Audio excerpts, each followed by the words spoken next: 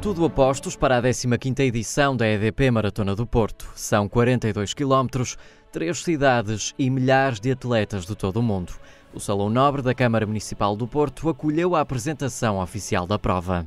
É de facto a maratona de referência dos portugueses e não só, também dos estrangeiros.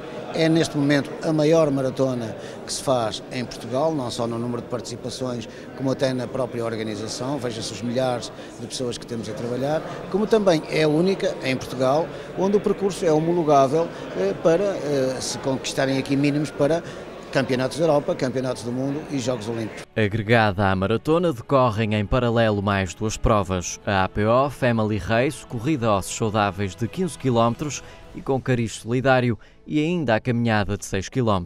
O percurso estende-se pelo Porto. Matosinhos e Vila Nova de Gaia. É evidente que o impacto financeiro é relevante e é importante, mas eu gosto mais de realçar aquilo que isto representa em termos, por um lado, uma estratégia cada vez mais clara da afirmação destas três cidades na sua relação da Frente Atlântica. Para nós é extremamente importante uh, uh, a agregação que isso traz às pessoas uh, e é, Matosinhos tem, digamos, uma dinâmica desportiva muito grande. Para uma prova com estas dimensões, há parceiros que não podem faltar. A preocupação com um estilo de vida saudável é cada vez maior.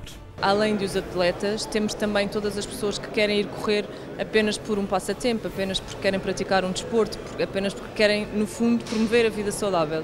E a marca eu acho que se associa cada vez mais a isso e as maratonas são um desporto tão transversal que também nos permite ter contacto com todas essas pessoas. Queremos efetivamente estar no running, queremos estar junto às pessoas, queremos pessoas saudáveis, queremos pessoas que se sintam seguras, que esses são também os valores da Continental e, portanto, claramente que esta é uma aposta para, para o futuro. A última edição contou com mais de 6 mil pessoas. Este ano, a presença de estrangeiros é muito forte. São esperados atletas de 71 países. É efetivamente um evento de altíssimo nível. Basta vermos o local onde estamos, que albergou esta conferência de imprensa, eh, vermos a cidade em que estamos, o número de praticantes, que, de atletas que participam nesta prova para, obviamente, o número de voluntários. Tudo isto são pequenos ingredientes que fazem um grande evento, um evento de excelência.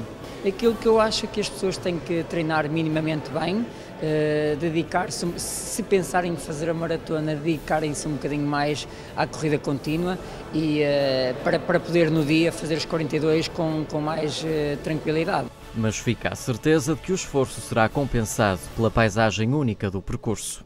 Eu iria mais longe, eu diria que é o percurso mais belo do mundo, já que esta vertente, digamos assim, do Oceano Atlântico mais o Rio Douro, é de facto são paisagens absolutamente notáveis. A cada curva, as pessoas que correm ficam com uma fotografia nos olhos diferente.